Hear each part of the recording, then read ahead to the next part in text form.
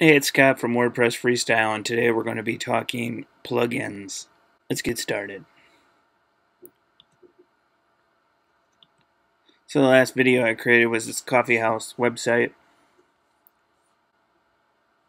And so the first thing that you want to do once you have a uh, website created is go to plugins.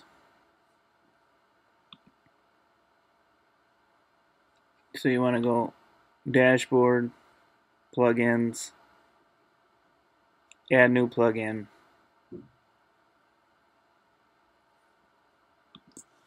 And then you want to protect your website from security issues.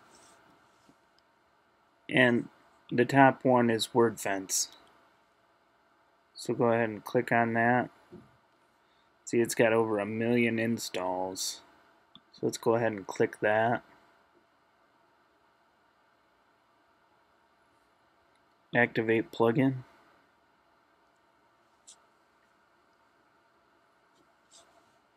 Here you want to put in your email.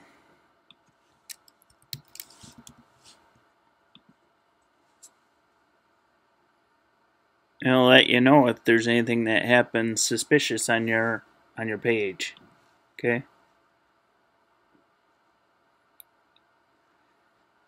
I'm going to tell you to exit out of the uh, tour because I'm going to run you through the tour. Okay? So what we're going to want to do now is under Wordfence in our sidebar here, we want to go down to Options.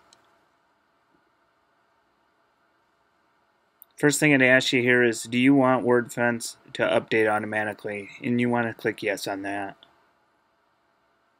Wordfence is completely free. Uh, you can upgrade to do some different features for $5 a month. It's not a bad option. Um, I've had sites that have gotten attacked by certain countries. You can block specific countries and some advanced spam filtering. But uh, with SiteGround, SiteGround comes with a spam filtering uh, for an extra dollar a month. So for twelve dollars a year, you can get spam, spam filtering through your hosting company. So this is five dollars a month. So that would cost you sixty dollars a year, or you can buy it twelve dollars a year for from SiteGround. Okay. So here again, it's asking you where you want your alerts sent. So you go ahead and put your email right there and you hit Save Changes. Okay. Then you come down here. There's a couple things that you want to change.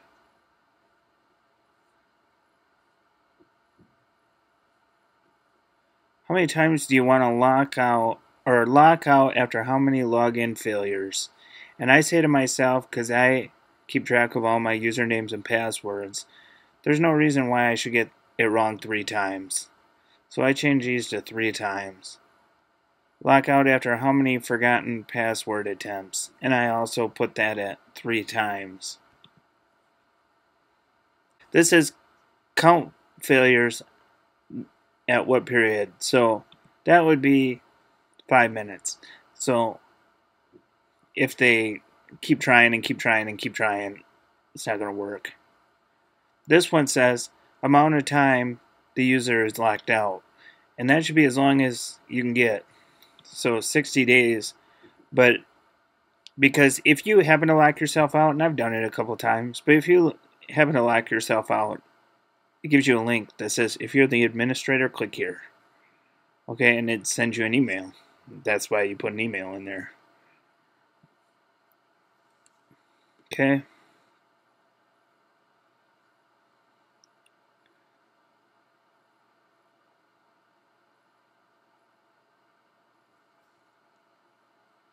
You can option to immediately lock out someone who does any username, but there's always that chance that somebody could type something wrong, so I never click that.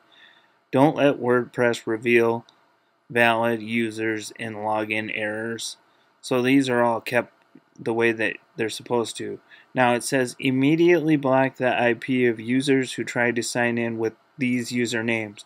And what people try and do is they try and get into your website by using vague usernames and passwords. So, like for for this particular instance, if I didn't put anything in here, they would try and attack using the word coffee house because I have that as the name of the ho- as the name of the website.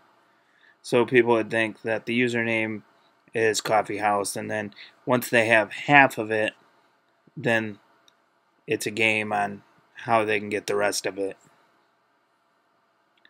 So the number one thing that people try and do is admin. And if there's any uh, guys out there trying to hack my stuff, um, I do have mine showing here, but I also have a bazillion long uh, email or a bazillion long password. So I say uh, I'm okay, and I also change this stuff from time to time. So even though you see certain things like you see my email and you see uh, usernames, I change them on a regular basis. So for this one, I'm gonna do admin and I'm gonna do coffee house and the coffee house.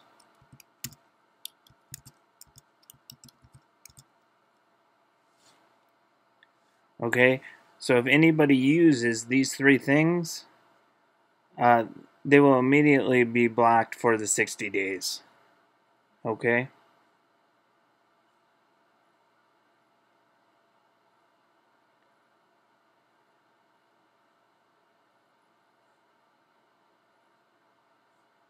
And that's all I do.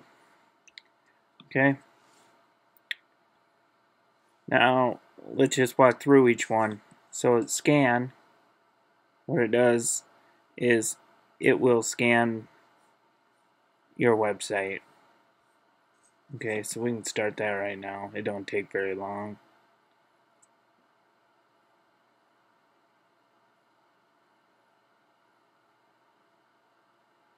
So it's checking for malware, heartbleed, all these other things that they've already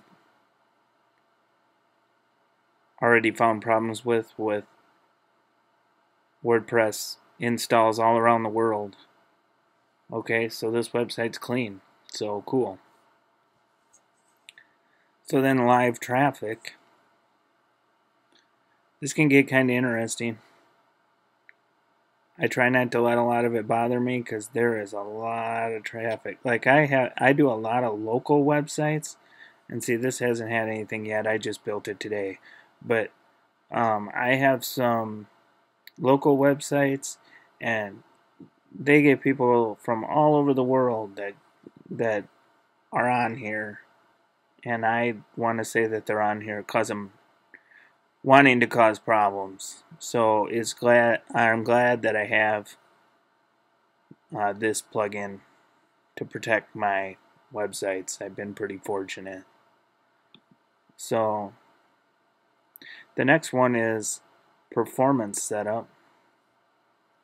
Um, this is to replace your cache. So if you don't have a cache plugin right now, um, you can use their basic caching um, on here. Here again, I have caching through SiteGround. Okay. So if somebody tries to log into my account using the uh, username admin, it'll show up right here under blocked IPs. Okay. And then what I do and I'm not going to show you this because I want this to be kind of a short video but what then what I do is there's a thing that you can do on your cPanel where you can block this. Like right now I've got about 25 different websites and if I go to my hosting company and put in this blocked IP it protects all 25 of my websites against that IP address. So that's what I do. Um, I don't do anything with password or cell phone or country blocking. These things are premium I don't do anything. Scan schedule is premium also. Uh, Whois lookup is premium. And advanced blocking is premium. So that's it. So now your site should be protected.